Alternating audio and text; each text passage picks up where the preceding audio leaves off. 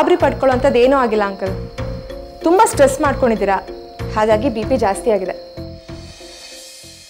ನೀವು ಸುಧಾರಿಸ್ಕೊಂಡ್ಮೇಲೆ ಒಂದ್ಸಲ ಸಿಟಿಗೆ ಹೋಗಿ ಎಲ್ಲ ಟೆಸ್ಟ್ಗಳನ್ನ ಮಾಡಿಸ್ಕೊಂಬರೋಣ ನಾನು ಬರ್ತೀನಿ ನಿಮ್ಮ ಜೊತೆ. ಈಗ ಕೆಲವೊಂದು ಮಾತ್ರೆಗಳು ಬೇಕು.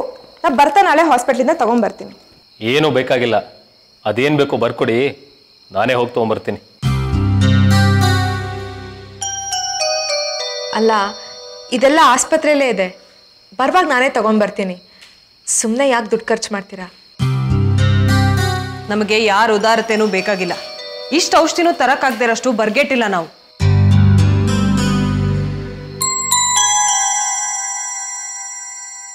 ಅದೇನಿದೆ ಬರ್ಕೊಡಿ, ತರ್ತಾರೆ ನಮ್ಮ ಯಜಮಾನ್ರು.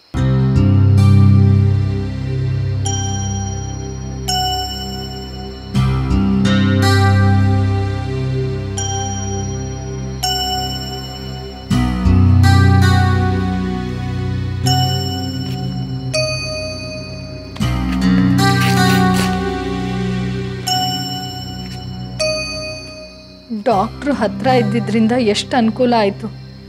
ಇಲ್ಲದೆ ಹೋದರೆ ಡಾಕ್ಟ್ರನ್ನ ಕರ್ಕೊಂಬರೋಕ್ಕೆ ಮೂರು ಮೈಲಿ ದೂರ ಹೋಗಬೇಕಿತ್ತು.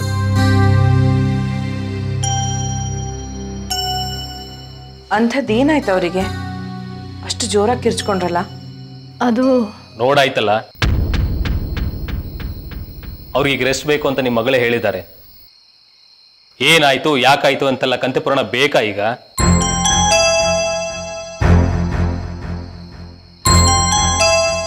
ಏ ಕೇಳೋದ್ರಲ್ಲಿ ಏನೋ ತಪ್ಪಿದೆ. ನಾನು ಕಿರ್ಚಿಟ್ ಶಬ್ದ ಕೇಳಿ ಬಂದಿದ್ದಾರೆ. ಮಗಳೇ ಡಾಕ್ಟರ್ ಆಗಿದ್ರಿಂದ ಎಷ್ಟು ಅನುಕೂಲ ಆಯಿತು ನೋಡು. ಇಲ್ದೆ ಹೋಗಿದ್ದಿದ್ರೆ ಇಲ್ಲ ಅಂದಿದ್ರು ಏನೂ ಆಗ್ತಿರ್ಲಿಲ್ಲ. ಸ್ವಲ್ಪ ತಡವಾಗಿದ್ರು ಒಳ್ಳೆ ಡಾಕ್ಟ್ರನ್ನೇ ಕರ್ಕೊಂಡು ಬರ್ತಿದ್ದೆ. ತಡ ಮಾಡಿದಿದ್ರೆ ಕಷ್ಟ ಆಗ್ತಿತ್ತು. ಅಮ್ಮ ಇದಕ್ಕೆ ಮೊದಲು ಈ ಥರ ಏನಾದರೂ ಆಗಿತ್ತಾ? ಇಲ್ಲ. ಇತ್ತೀಚೆಗೆ ರಾಜಿ ಎಲ್ಲರನ್ನು ಹೊರಗಡೆ ಹೋಗೋಕ್ಕೆ ಕೇಳು. ನಾನು ನಿನ್ನ ಹತ್ರ ಮಾತಾಡಬೇಕು.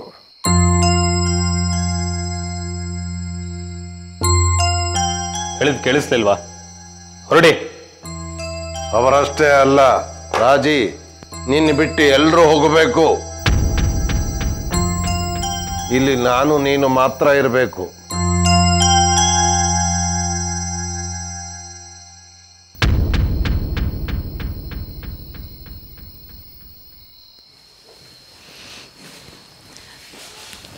ಎಲ್ಲರೂ ಹೋದ್ರು. ಹೇಳಿ. ಇದು ಯಾವತ್ತಿಗೂ ಸರಿ ಹೋಗ್ದಿರೋ ಹಂತ ತಲುಪಿದೆ ಕಣೆ ನಮ್ಮ ಸಂಬಂಧ. ನಿನ್ನ ಮಗನ ನಡೆ ನುಡಿ ನೋಡು. ಹೇಗೆ ಆಡ್ತಾ ಇದ್ದಾರೆ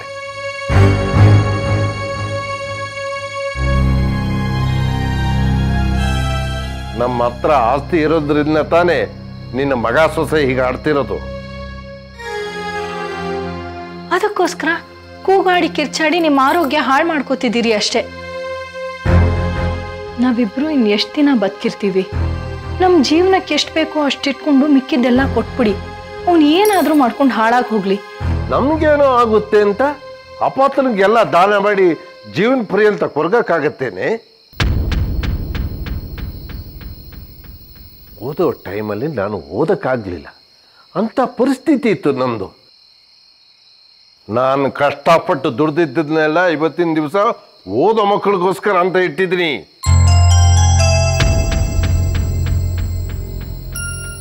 ಇವನ್ ಮಾತಿಗೆ ಹೆದರ್ಕೊಂಡು ನಾ ಏನಾರು ಇವನು ಕೊಡ್ತು ಅಂತಂದ್ರೆ ನೀರಲ್ಲಿ ಹೋಮ ಮಾಡ್ದಂಗೆ ಆಗತ್ತೆ. ಹಾಗಂತ ಆಸ್ತಿನ ಉಳಿಸ್ಕೊಳಕ್ ಹೋಗಿ ನೆಮ್ಮದಿ ಕಳ್ಕೊಳ್ಳೋಣ ಅಂತೀರಾ? ನಂಗಂತೂ ಒಂದೊಂದ್ಸಲ ಯಾಕಾದ್ರೂ ಇಷ್ಟು ಆಸ್ತಿ ಗಳಿಸಿದ್ವು ಅಂತ ಸಂಕಟ ಆಗತ್ರಿ. ಹ್ಮ್ ಈಗೊಂದು ನಿರ್ಧಾರ ಮಾಡಿದ್ದೀನಿ ಕಡೆ ಈ ಆಸ್ತಿ ನಮ್ಮ ಹತ್ರ ಇದ್ರೆ ತಾನೇ ಇವಂದೆಲ್ಲ ಆಟೋಟೋಪ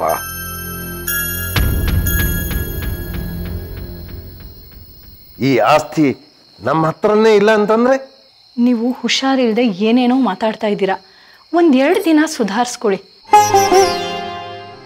ಬೃಂದ ಮಗಳು ಮಹತಿ ಹೇಳ್ದಂಗೆ ನಾವು ಸಿಟಿಗೆ ಹೋಗಿ ಎಲ್ಲ ಟೆಸ್ಟು ಮಾಡಿಸೋಣ. ನಿಮ್ಮ ಆರೋಗ್ಯಕ್ಕೆ ಏನು ತೊಂದರೆ ಇಲ್ಲ ಅಂತ ಆದಮೇಲೆ ಏನು ಬೇಕಾದರೂ ಯೋಚನೆ ಮಾಡೋಣ. ಅಲ್ಲಿವರೆಗೂ ಸ್ವಲ್ಪ ಸಮಾಧಾನದಿಂದ ಇರಿ ಇವಾಗ ಗಂಜಿ ಕುಡಿತೀರಾ ಬಿಸಿ ಬಿಸಿ ಅನ್ನ ಕಲ್ಸ್ಕೊಂಬರ್ಲಾ ಏನಾದರೂ ಸರಿ. ಒಟ್ಟಿನಲ್ಲಿ ನಾನು ನಿರ್ಧಾರ ಏನು ಮಾಡಿದ್ದೀನೋ ಅದು ಮಾಡೇ ಮಾಡ್ತಿರ್ತೀನಿ. ನಾನು ಸಾರನ್ನ ಕಲ್ಸ್ಕೊಂಬರ್ತೀನಿ ಒಂದೊಂದು ಸತ್ಯ ಅನಿಸುತ್ತೆ. ಜೀವನದಲ್ಲಿ ಮನುಷ್ಯ ಇಲ್ಲ ಬುದ್ಧನಾಗಿರಬೇಕು ಇಲ್ಲ ಪುರಂದ್ರದಾಸನಾಗಬೇಕು. ಅದಕ್ಕೇನು ಹಿಂದಿನ ಕಾಲದಲ್ಲಿ ರಾಜರು ವಯಸ್ಸಾದ್ಮೇಲೆ ಮಕ್ಕಳು ಹೀಗೆ ಆಡ್ತಾರೆ ಅಂತ ಎಲ್ಲ ಬಿಟ್ಟು ಕಾಡು ಹೋಗಿ ಸೇರ್ಕೊತಿದ್ರು. ಈಗ ನೀವು ಕತೆ ಶುರು ಮಾಡಬೇಡಿ. ಎದ್ದಿರಿ ನಾ ಊಟ ತರೋವರೆಗೂ ಮಲಗಿಬಿಡಬೇಡಿ. ರಾಜಿ.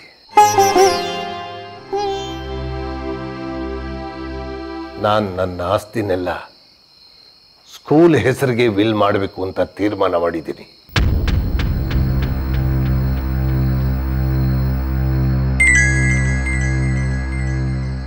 ಏನು ಬೇಕಾದರೂ ಮಾಡುವ್ರಂತೆ. ಅದನ್ನೆಲ್ಲ ಆಮೇಲೆ ಯೋಚನೆ ಮಾಡೋಣವಾ? ಇಲ್ಲ ಕಣೆ. ಆದಷ್ಟು ಬೇಗ ಇದು ಇತ್ಯರ್ಥ ಆಗ್ಬಿಡ್ಬೇಕು. ತಡ ಮಾಡಿದಷ್ಟು ನಮಗೆ ನೆಮ್ಮದಿ ಇರಲ್ಲ. ಆಮೇಲೆ ಏನ್ ಮಾಡ್ಕೋತಾನೋ ನೋಡೋಣ.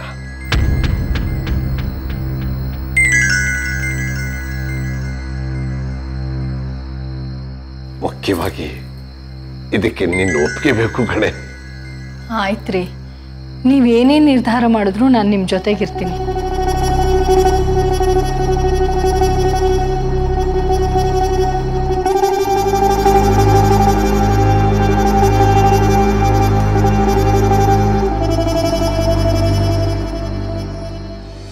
ಎಕ್ಸ್ಕ್ಯೂಸ್ ಮೀ ಡಾಕ್ಟರ್ ಓ ಬನ್ನಿ ಬನ್ನಿ. ಹಲೋ ಡಾಕ್ಟರ್ ಹಲೋ ಪೂರ್ವಿಯವರೇ ಕೂತ್ಕೊಳ್ಳಿ. ಎಲ್ಲಿ? ಇವತ್ತು ವಾಸಂತಿ ಅವ್ರ ಜೊತೆ ಬರಲಿಲ್ವಾ? ವಾಸಂತಿ ಸ್ವಲ್ಪ ಬ್ಯುಸಿ ಭಯ ಆಗ್ತಾ ಇತ್ತು ಅಂತ ನನ್ನ ಜೊತೆ ಬಂದ್ಲು ಅಷ್ಟೇ. It's okay and I'm am really sorry ನಮ್ಮ ತಾಯಿಗೆ ಸ್ವಲ್ಪ ಹುಷಾರಿಲ್ಲ. ರೆಸ್ಟ್ ಮಾಡ್ತಿದ್ದಾರೆ. ಅದಕ್ಕೆ ನಿಮ್ಮನ್ನ ಮನೆಗೆ ಬರೋದಕ್ಕೆ ಹೇಳಿದೆ. ನೋ ಇಶ್ಯೂಸ್ ಡಾಕ್ಟರ್ ಕಾಫಿ ನಾವು ತಗೋತೀರಾ? ಬೇಡ ಬೇಡ. ಥ್ಯಾಂಕ್ ಯು ಸರಿ. ಇವತ್ತು ನಿಮ್ಮ ಮನಸ್ಥಿತಿ ಹೇಗಿದೆ? ಬೆಟರ್ ಅನಿಸುತ್ತೆ ಡಾಕ್ಟರ್ ಸ್ವಲ್ಪ ಮಟ್ಟಿಗೆ ನನ್ನ ಮನಸ್ಸಿನ ಭಾರ ಇಳಿದಿದೆ. ಇವತ್ತು ನಿಮ್ಮ ಪ್ರಶ್ನೆಗಳಿಗೆ ಉತ್ತರ ಕೊಡೋಕ್ಕೆ ಸ್ಥೈರ್ಯ ತಂದ್ಕೊಂಡಿದ್ದೀನಿ. ನಾನು ನಿನ್ನೆ ಎಮೋಷ್ನಲ್ ಬ್ಯಾಲೆನ್ಸ್ ಕಳ್ಕೊಂಬಿಟ್ಟೆ ಸಾರಿ ಪರವಾಗಿಲ್ಲ. ನನ್ನ ಮುಂದೆ ಇದು ಕಾಮನ್ ಸರಿ, ನಿಮಗೆ ನಿನ್ನೆ ಕೇಳಿದ ಪ್ರಶ್ನೆನ ಇವತ್ತು ಕೇಳ್ತೀನಿ. ಎರಡು ವರ್ಷದ ಹಿಂದೆ ಅದು ಯಾವುದೋ ಆಘಾತ ಆಯಿತು ಅಂತಂದಿರಿ ಆ ಆಘಾತ ಏನು please please please leave me. Please leave me. Leave me. Leave me. Leave. Purvi. Purvi. Purvi.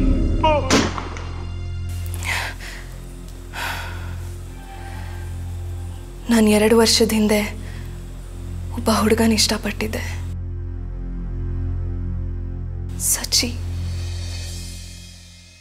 ನಮ್ಮ ಕಂಪನಿಯಲ್ಲಿ ಕೆಲಸಕ್ಕೆ ಅಪ್ಲೈ ಮಾಡಿದ್ದ. ನಾನೇ ಮ್ಯಾನೇಜರ್ ಆದ ಕಾರಣ ಅವನ ಇಂಟರ್ವ್ಯೂ ನಾನೇ ಮಾಡಿದೆ. ಇಂಟರ್ವ್ಯೂಗೆ ಬಂದಾಗ ಇಂಟರ್ವ್ಯೂಲಿರೋ ಪ್ಯಾನೆಲ್ ಮೆಂಬರ್ಸ್ ಎಲ್ಲ ಅವನ್ನ ರಿಜೆಕ್ಟ್ ಮಾಡಿಬಿಟ್ರು. ಆದರೆ ಅವರೆಲ್ಲ ಹೋದ್ಮೇಲೆ ಅವನ ಮನೆ ಪರಿಸ್ಥಿತಿ ನನ್ನ ಹತ್ರ ಹೇಳ್ಕೊಂಡ. ಅವ್ರ ತಾಯಿ ಮೆಣಸಿನ ಪುಡಿ ಚಟ್ನಿ ಪುಡಿ ಮಾರಿ ಜೀವನ ಮಾಡ್ತಾರಂತೆ. ನನ್ನ ತಾಯಿಗೆ ಸ್ವಲ್ಪನಾದರೂ ಸುಖ ಬೇಕು. ಅದಕ್ಕೋಸ್ಕರ ನೀವು ಈ ಕೆಲಸ ಕೊಟ್ಟರೆ ನಾನು ಸದಾ ಚಿರಋಣಿ ಆಗಿರ್ತೀನಿ ಅಂತಂದ. ನನಗಿರೋರೊಬ್ಬರೇ ನನ್ನ ತಾಯಿ, ಅದಕ್ಕೋಸ್ಕರ ಅವ್ರನ್ನ ಸುಖವಾಗಿ ಇಟ್ಕೋಬೇಕು ಅಂತ ಕಣ್ಣೀರು ಹಾಕ್ಬಿಟ್ಟ. ಅದನ್ನ ನೋಡಿ ನನಗೆ ಮನಸ್ಸು ಕರಗ್ತು. ಬೇರೆಯವ್ರಿಗೆ ಕನ್ವಿನ್ಸ್ ಮಾಡಿ ಅವನಿಗೆ ಕೆಲಸ ಕೊಟ್ಬಿಟ್ಟೆ. ಅವನಿಗೆ ಅವತ್ತಿಂದ ನನ್ನ ಮೇಲೆ ತುಂಬ ಗೌರವ ಆತ್ಮೀಯತೆ ಬೆಳೀತು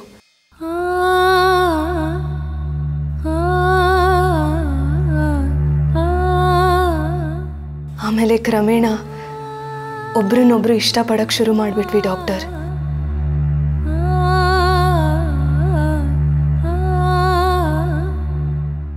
I think we fell in love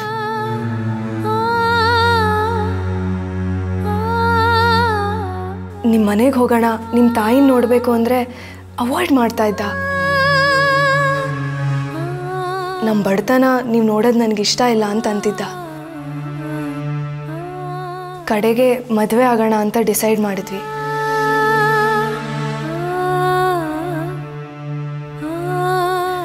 ಮೊದಲು ರಿಜಿಸ್ಟ್ರ್ ಮದುವೆ ಆಗೋದು, ಆಮೇಲೆ ಮನೆಯವ್ರಿಗೆ ತಿಳಿಸೋದು ಅಂತ.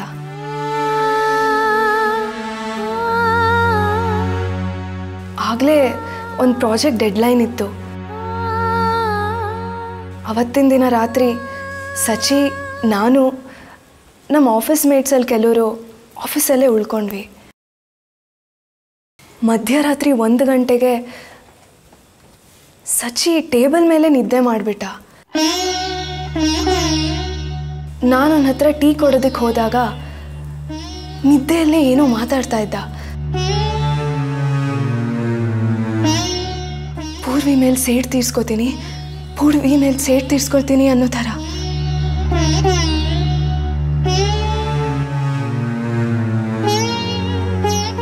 ನನ್ನ ಹೆಸರು ನನಗೆ ಅಸ್ಪಷ್ಟವಾಗಿ ಕೇಳಿಸ್ತು.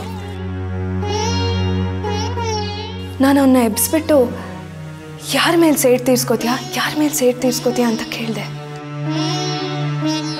ಅದಕ್ಕೆ ಅವನು, ಏನೂ ಇಲ್ಲ, ಅಸಂಬದ್ಧವಾಗಿ ಮಾತಾಡಬೇಡ. ಡೋಂಟ್ ಟಾಕ್ ರಬೇಶ್ ಅಂತ ಅಂದ್ಬಿಟ್ಟ.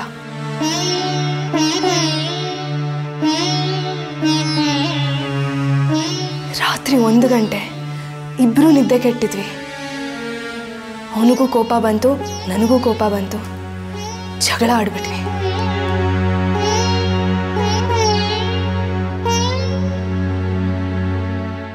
ನಾನು ಕೂಗಾಡ್ದೆ, ಅವನು ಕೂಗಾಡ್ದ.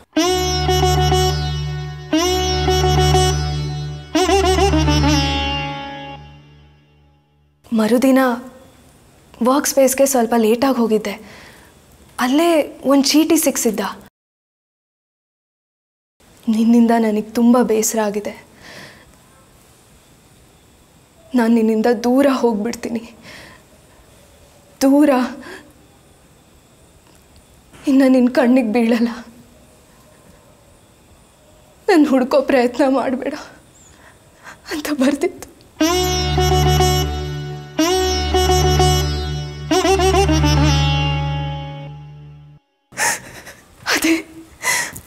ಅದೇ ನೋಡಿತು ಸರಿ ನೋಡಿದ್ದು. ಸರೆ ಜನಿ ಸ ಗರೆ ಸರೆ ಜನಿ ಸ ಧನಿ ಸರಿ ಸ ಗರೆ ಜನಿ. ಸರಿ ಜನಿ ಸ ಗರೆ ಸರೆ ಜನಿ ಸ ಧನಿ ಸರಿ ಗರೆ ಜನಿ. ಗಮ ಗರಿ ಗ ಪಮ ಗಮ ಗರೆ ಗ ಸರಿ ಗಮ ಗರಿ ಗ ಪಮ ಗರಿ ಸಮಾಧಾನ ಮಾಡ್ಕೊಳ್ಳಿ. ತಗೊಳ್ಳಿ.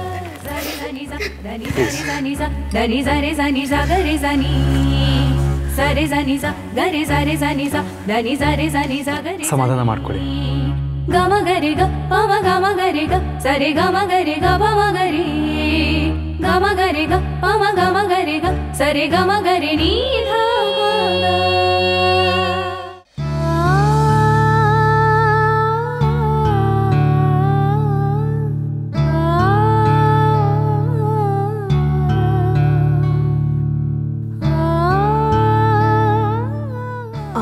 ಫೋನ್ ಇಲ್ಲ ಮೆಸೇಜ್ ಇಲ್ಲ ಇಮೇಲ್ ಇಲ್ಲ ಅವನ ಫೋನು ಸದಾ ಸ್ವಿಚ್ ಆಫ್ ಅವ್ರ ತಾಯಿ ಮನೆಗೆ ಹೋಗೋಣ ಅಂದರೆ ಅಲ್ಲಿನ ಅಡ್ರೆಸ್ ಗೊತ್ತಿಲ್ಲ. ಅಲ್ಲ ಅವ್ರು ನಿಮ್ಮ ಕಂಪ್ನಿ ಎಂಪ್ಲಾಯ್ ಅಂತಂದರೆ ಕಂಪ್ನಿಲಿ ಎಂಪ್ಲಾಯ್ ಡೀಟೇಲ್ಸ್ ಇರುತ್ತೆ ಅಲ್ವಾ? ಹೌದು.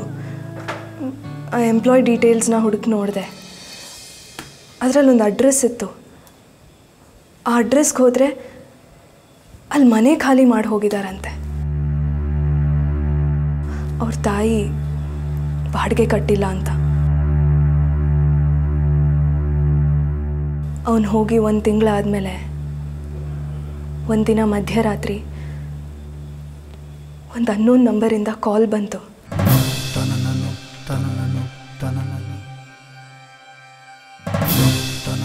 ಕಾಲ್ ರಿಸೀವ್ ಮಾಡಿದ್ರೆ ಸಚಿ ವಾಯ್ಸು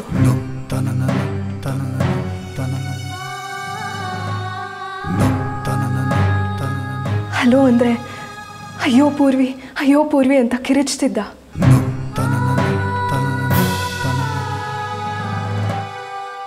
ಯಾರೋ ಕತ್ತಿಯಿಂದ ಹೊಡೆದಂಗಿತ್ತು ಆ ಶಬ್ದ, ಆ ಕೂಗು.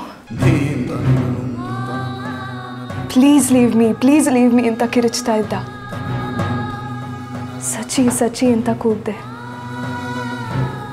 ಅದಾದ ತಕ್ಷಣ ರಿವಾಲ್ವರ್ ಫೈರ್ ಆಗಿರೋ ಶಬ್ದ ಕೇಳಿಸ್ತು.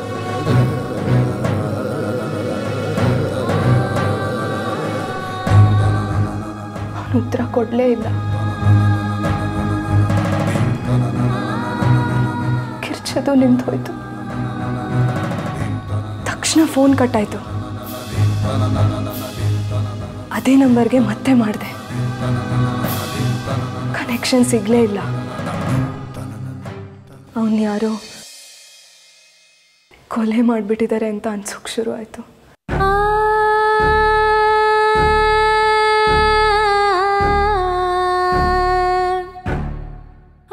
ಆಮೇಲೆ ಅದೇ ನಂಬರ್ಗೆ ಸಾವಿರ ಸತಿ ಕಾಲ್ ಮಾಡಿದ್ದೀನಿ.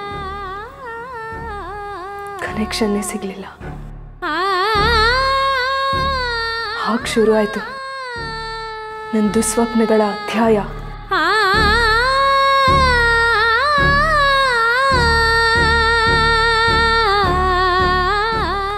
ಪ್ರತಿ ದಿವಸ ಮಧ್ಯರಾತ್ರಿ ನನ್ನ ಫೋನಿಗೆ ಕಾಲ್ ಬರೋದು. ಅವನ ಕೊಲೆ ಆಗಿದೆ ಅನ್ಸೋದು. ಫೋನಿಗೆ ಕಾಲ್ ಬರೋದು. ಕೊಲೆ ಆಗಿದೆ ಅನ್ಸೋದು. ಪಮ ಗರೆ ಗಮ ಪಮ ಗರೆ ಗಮ ಪಮ ಪಮ ದ ಪಮ ಪಮ ಗಮ ಪದ ನಿನಿ ದ ಪಮ ಪಮ ಗಮ ಗರೆ ಗರೆ ದ ನಿ ದ ನಿ ರೆ ಗಮ ಪಮ ಗಮ ದ ನಿ ರೆ ಗಮ ಪಮ ಗರೆ ದ ನಿ ರೆ ದ ನಿ ದ ದ ನಿ ರೆ ದ ನಿ ದ ಮ ದ ಮ ಪಮ ಗಮ ಗರೆ ಗರೆ ದ ನಿ ರೆ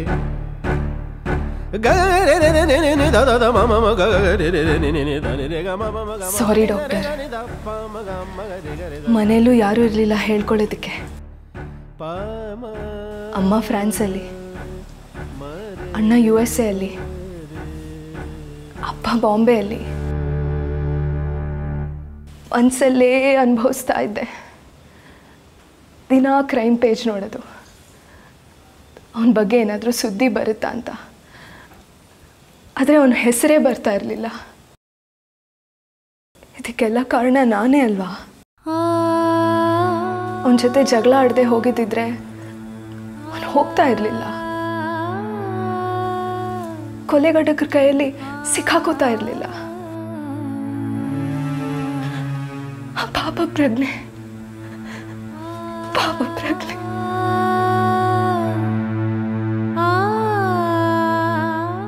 ಮಲ್ಗಣ ಅಂತ ಕಣ್ಣು ಮುಚ್ಚಿದ್ರೆ ಅದೇ ಕನಸು.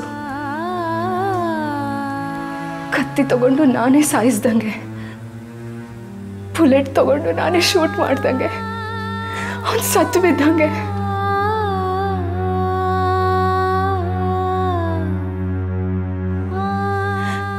ಎದ್ದು ಹೊರಗೆ ಹೋಗೋಣ ಅಂತಂದ್ರೆ ಅಲ್ಲೆಲ್ಲ ಬರೀ ಗೋಡೆಗಳು ಬಾಗ್ಲೇ ಇಲ್ಲ. ಸಿಕ್ಕಾಕೊಂಡ್ಬಿಟ್ಟಿದ್ದೀನಿ ಡಾಕ್ಟರ್.